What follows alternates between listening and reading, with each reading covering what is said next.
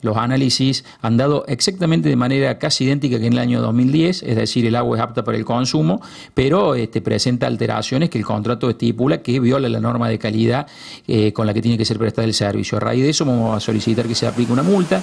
En términos económicos, debo decirle que la multa es insignificante porque el contrato estipula multas eh, de, un monto este, muy, muy, muy pequeño para la magnitud financiera de esta empresa. Esta es una empresa que recauda aproximadamente 300 millones de pesos al año. La multa son 100 mil pesos, actualizada por coeficiente regulatorio, que es lo que se, una actualización que se hace con cada aumento de tarifa, lo que le haría llegar a aproximadamente 400 mil pesos. Pero tenemos el antecedente de que cuando en el 2010 también hubo problemas con el agua, directamente eh, Aguas Cordobesas no pagó la multa.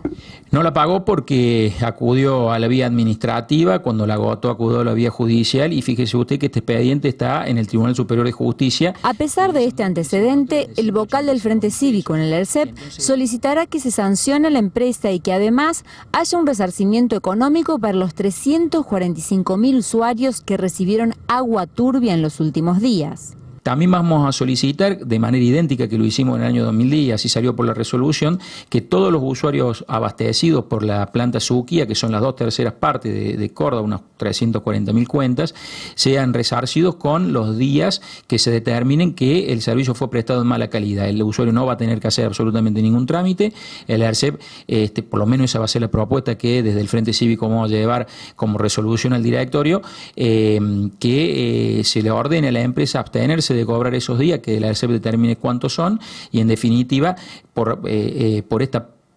prestación del servicio, eh, el usuario, aunque sea tenga una contraprestación. Quintero se refirió además a la polémica generada por De la Sota al ofrecer municipalizar el servicio de agua y resaltó cuánto benefició el actual gobernador en 2005 a Aguas Cordobesas con un contrato por el cual se exime a la empresa de pagar miles de pesos a la provincia por la concesión de este servicio indispensable.